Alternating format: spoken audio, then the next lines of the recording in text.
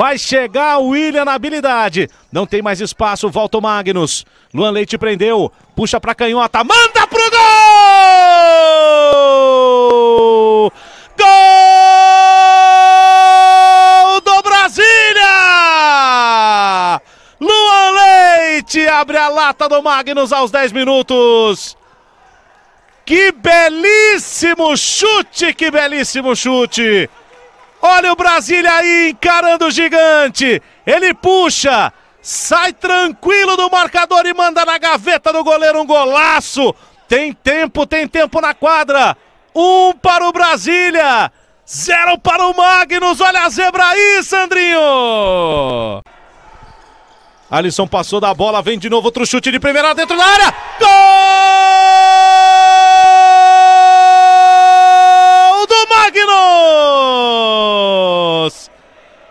Leozinho fura a barreira branca.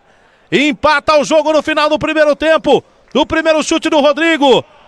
O Luan não pegou, o Lino ajeitou e o Leozinho livre só empurrou pro gol. Empatada a partida no Planalto Central, 1 um a 1 um. Já tem no meio gente ali, ó. ó. O Danilo Ricardinho já estava dando opção ali.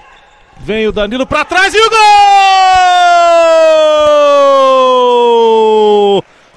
Magnus! Ricardinho, bem naquilo que o Sandrinho avisava, ficou um buraco ali no meio.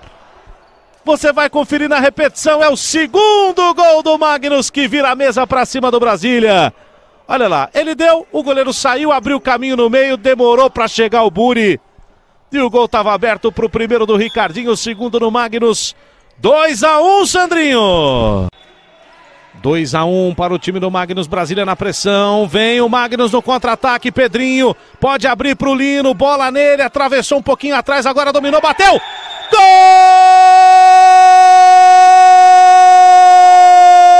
do Magnus!